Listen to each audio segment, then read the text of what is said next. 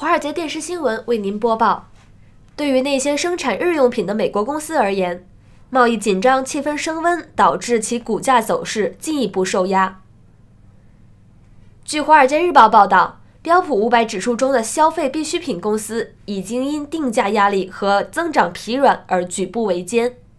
在加拿大、墨西哥和欧盟针对美国实施的钢铝关税进行报复之后，这些公司的前景进一步受到影响。追踪食品和饮料股以及其他消费品公司的大型交易所交易基金之一 Consumer Staples Select SPDR Fund 今年已累计下跌百分之十。相比之下，标普五百指数今年累计上涨百分之四点三。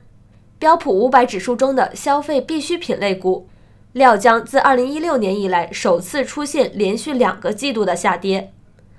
定价能力下降，大宗商品价格不断上涨。零售商进一步要求食品和饮料生产商将更多的资本再投入到业务改进中，这些因素已经打压了整个消费必需品行业的公司股价。瑞士信贷在一份报告中表示，这些因素可能导致未来两年的利润率下滑。Molson Coors Brewing 和百事公司等饮料生产商向分析师透露，已切身感受到通胀压力。如铝成本上涨及运费和燃油费上升，今年截至目前，这两家公司的股价已分别下挫百分之十九和百分之十三。而泰森食品有限公司和和美尔食品公司等向墨西哥出口猪肉等商品的食品制造商，正在为销售可能出现的下滑做准备。泰森食品股价上个月下跌近百分之四，今年已累计下跌百分之十二。除禽类产品之外，该公司还出售各种肉类熟食。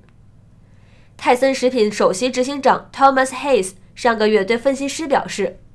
贸易往来对于该公司非常重要。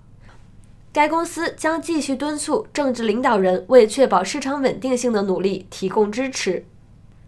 在墨西哥以及其他国家政府宣布采取报复性措施的五月三十一日当天，和美尔食品股价下挫超过百分之三。当前股价已跌至二零一七年末收盘水平下方。